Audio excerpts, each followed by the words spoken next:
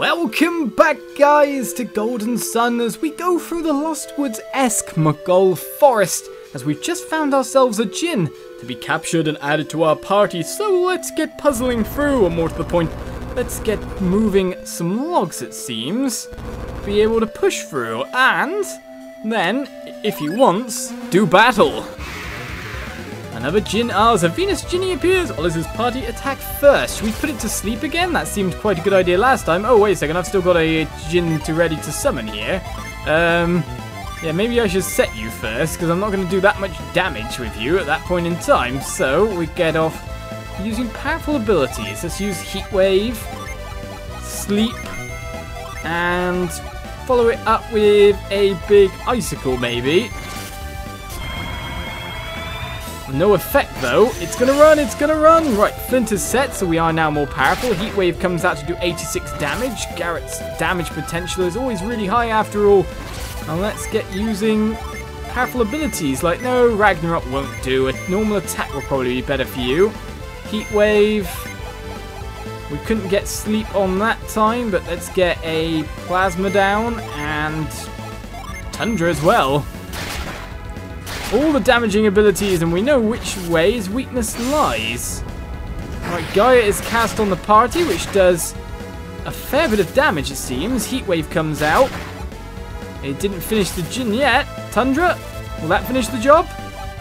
Indeed it did. I wanted to kind of use Ivan's Djinn to finish the job at that moment. I knew it would be low HP, but either way we gained a party member, and that's all that really matters.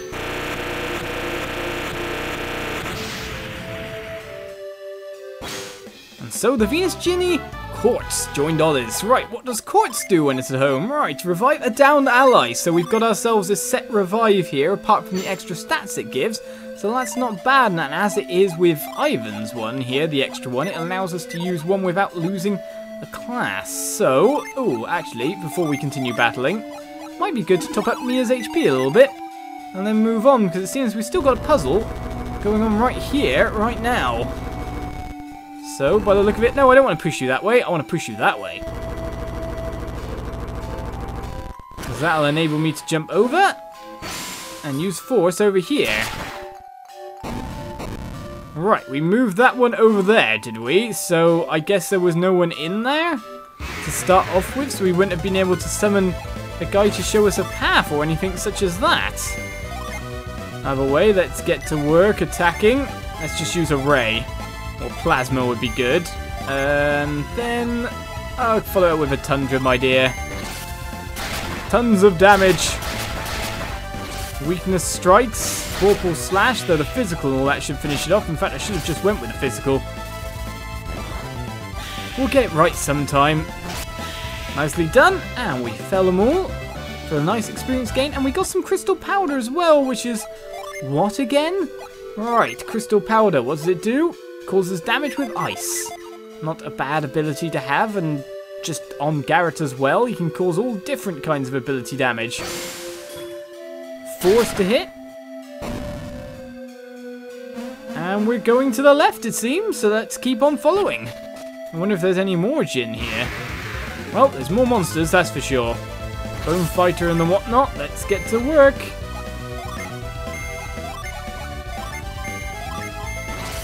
Now, will that take them down? Have I done enough damage here? I do not know until all the damage starts coming in, and it is doing nice amounts. Garet, though, could use a heal by the look of it. We didn't take down the Bone Fighter, who is what weakness again? I always forget, right. That's the difference between doing things between filming or not. Right, uh, let's keep you on defense and apply to Garet. Indeed, is that one, so there we go. I did remember in the end, even though I always sound so unsure. We recover 115 HP and fell ourselves another spirit as Olis levels up to a level 14 knight and learns Quake Sphere. So that's not bad. Mia shouldn't be far from leveling as well due to that. Reset and keep going. Right, is there anything actually down there? No treasure chest or anything? Well, ah, this looks confusing. Have we made it through Mogall Forest? The answer to that is not yet. Right, we found ourselves a monkey, though, who went off that way.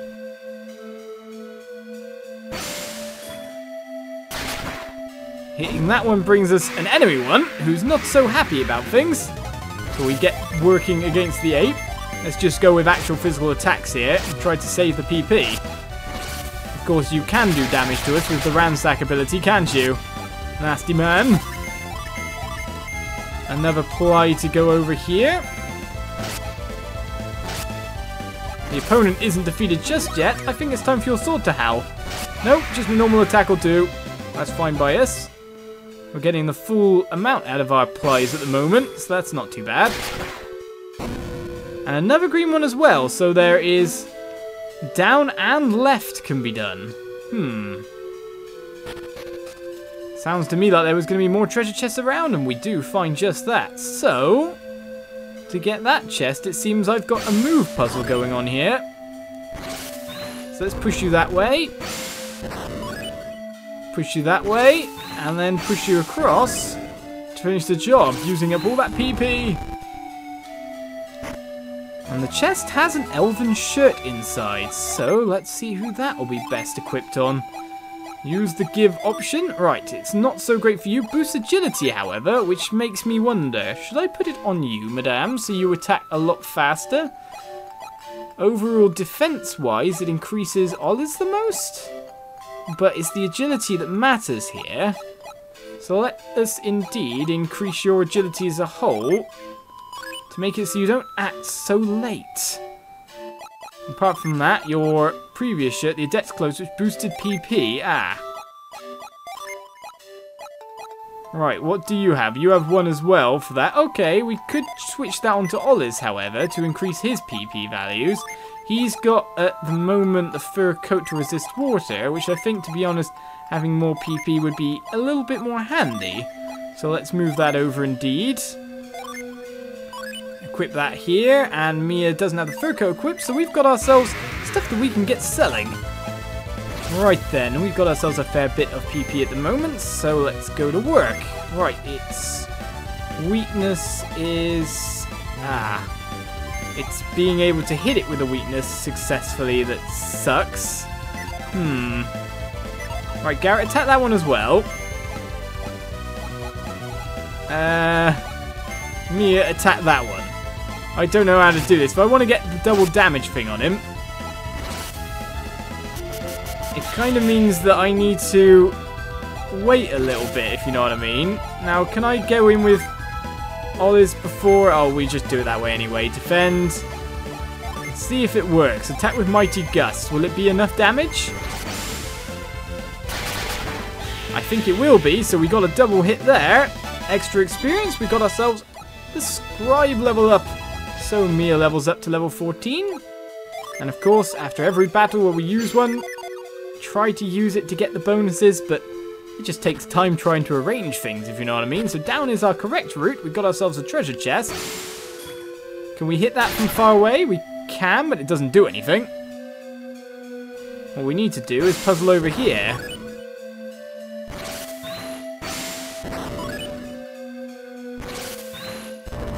Get pushing once more.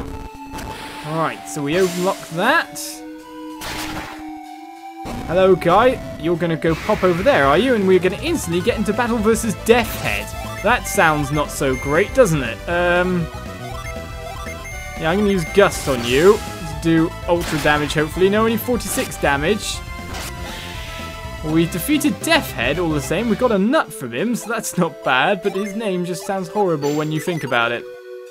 Is he going to cast instant death spells? Am I going to go down so easily? I don't know, but we're going to have a pushing puzzle, it seems. So let's get moving on around. Now, what do I push first? It seems like I've got to push them in an order no matter what with how things are shaped, so... Let's get breaking these down. This has got full PP at the moment, which isn't bad, so I'm going to use a little bit of that to break down this party in a nice, quick fashion. Of course, Plasma will do extra damage to the spirits. Ragnarok will break down the Bone Fighter without any issue. And we did not do enough damage there to finish those guys off. All the same though, let's get, and to be honest, a cure going. We've got the PP, so we may as well use it a bit. Over there, get a Gust to take one down for weakness, and another attack over here. Brilliant. See if we can get ourselves any items with that. Well, the extra experience will do me, but nope, no good for me. Hitting the menus, though, is kind of important in that kind of status. Right, we need to go all the way down and up again. Actually, we don't need to push it upwards at all. We're fine. Let's hit here and see which route we got to take.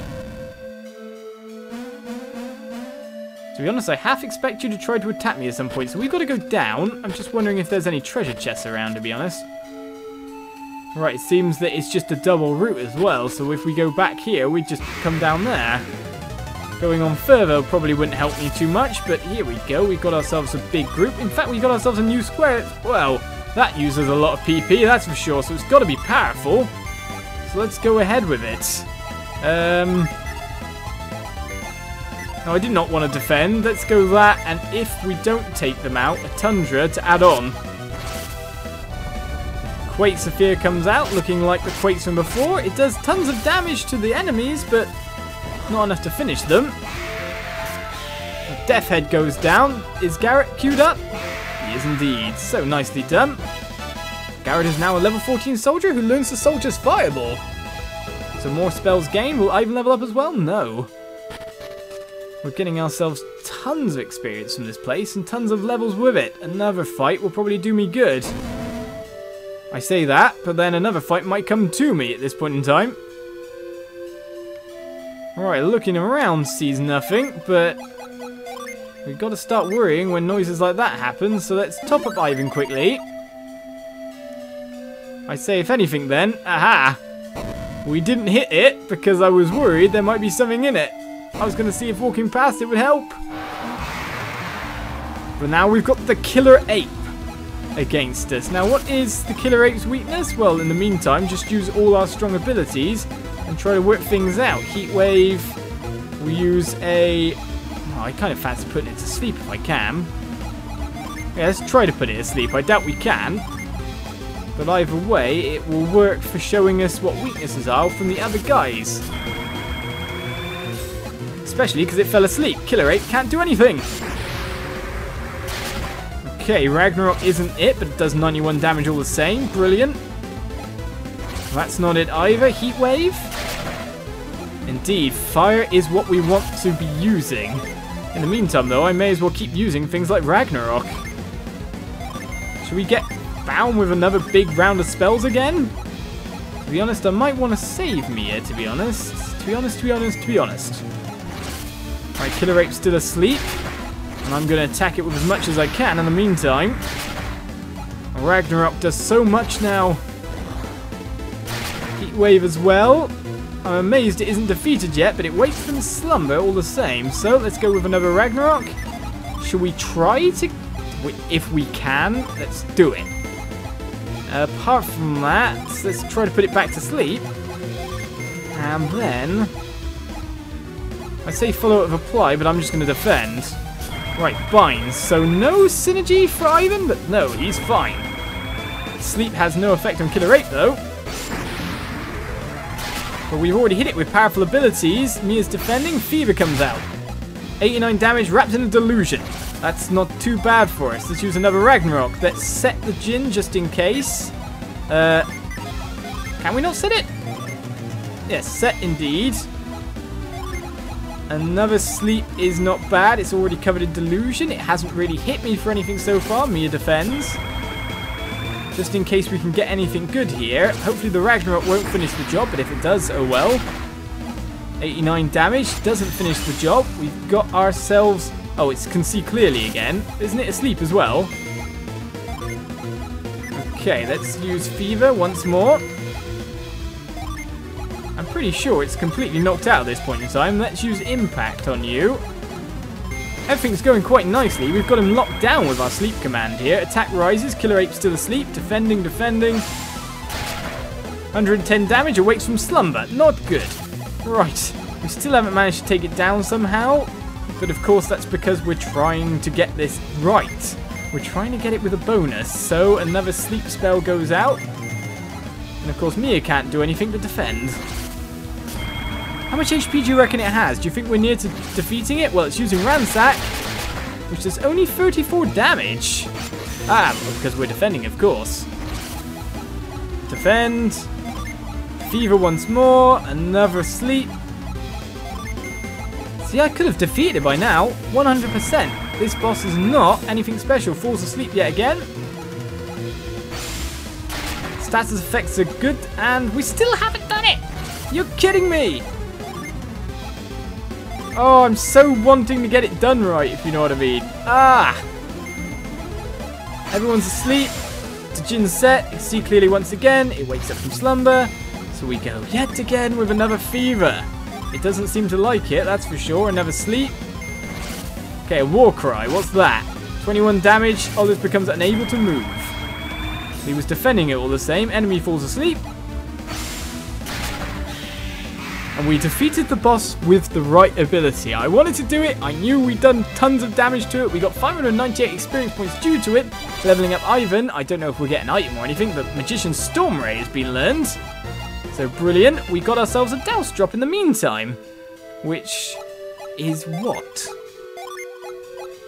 Right, a Douse drop bestows Douse when equipped. So it gives an ability, does it? Equip to Mia over here, and then we'll use it. Alright, Douse. Attack with a Surge of Water. It's a spell in itself. And it also puts water on things, which is good, I guess. But what we're interested in is its applications as an outside battle usage ability, which, if we're right in saying, remember that fire that we couldn't get rid of earlier with next to the icicle pillar? Going back there could be pretty good, but for now we continue onwards. Right then. Apart from this weird place over here, nothing's going on. Everyone's leveled up though, which is brilliant. So, tons more enemies. Let's use Storm Ray. Oh, we got ourselves the fire ability here, so to be honest, let's attack one guy on the far edge. Use Mars on that lot. Storm Ray on that lot. And Mia, you never get to attack anymore. The Storm Ray was going to do enough damage, if you know what I mean. Vorpal Slash. Dirge uses a flying attack. Who'd have thought it's a flying enemy? Will Mars finish the job? It will indeed. Nicely done. We did not need Mia at all. Sorry, Mia. We got you in the party, but you're just too slow. We tried to equip you with agility and all that. Well, what's over here? Okay.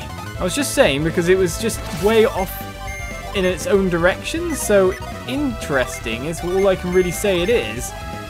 Hmm, okay, let's go to work. We're so near a home base at this point in time that I'm pretty sure we can get things down. We'll just use our PP anyway, so let's just use all the spells, finish them off. Ragnarok will finish off you, Bone Guy. Oh, I was hoping Garet go first, but of course your agility's been slightly above Garet's now. And that fells them with no issue. There's a random tree on the edge though, which means I'm going to press A and see if there's anything good here, but no is the answer to that one. It looked too suspicious, like this looks suspicious, but no, no suspiciousness. Let's get on into Xian. Hello people, a new town, this is Xian. Travelers are welcome here. Relax, stay long. Assassins from the sky, many, many thieves, but do not worry, Xian has many kung fu masters. Master Fei is strong. Indeed it is. Well, now we're in a town, of course, it's always good to switch up our combos here and learn information, so... Master Fei said, "Yeah!" and then the thieves fell. What thieves, then? These children must have come to study kung fu at Master Fei's school. Well, I do train at a master school, but not exactly Master Fei. Right, all the people who came to eat are from Xian. What happened there? There are fewer travelers, so fewer people eat here. Where are all the travelers? Well, probably because there's a forest of doom in the way. Tourism probably isn't on the rise, let's put it that way. Warriors should learn about the towns they visit. Just traveling and fighting is a sad life. Oh, I can't mind read you. He has nothing on his mind. When you go to the new place, follow the rules in the new place. This is an old saying in Xian. It's not exactly that hard of a saying. Welcome to my inn, he says. 40 coins for a stay? Well, to be honest, I'll take the restore and Psynergy. Our party is in good nick, that's for sure. Was it nice to rest? Come stay again. Sure thing, sir. Well, nothing is in any of your barrels. Nothing seems to be in your inn in general. We have ourselves an upper floor as well. Nothing in the barrels, nothing in the shelf. Oh, there's a kimono. It looks like a nightgown for guests staying at the inn. Oh, we don't want to take it? Hasn't got good stats? Normally, many merchants come to the village, but they have not come yet. I think that is strange. I'm sure you do. When many merchants come, my business is good. But if no merchants come, my business is very bad. I'm sure. Right, nothing found in any barrel, nothing found in any place. Check the jar, nothing either. Or the inn comes a bust for any items or goodness. But still, we've reached ourselves a new town, we've got through the forest, we gained ourselves a new Psynergy, levels to go with it, new spells galore. Join me next time for more Golden Sun, as we hope to earn much more. Bye bye.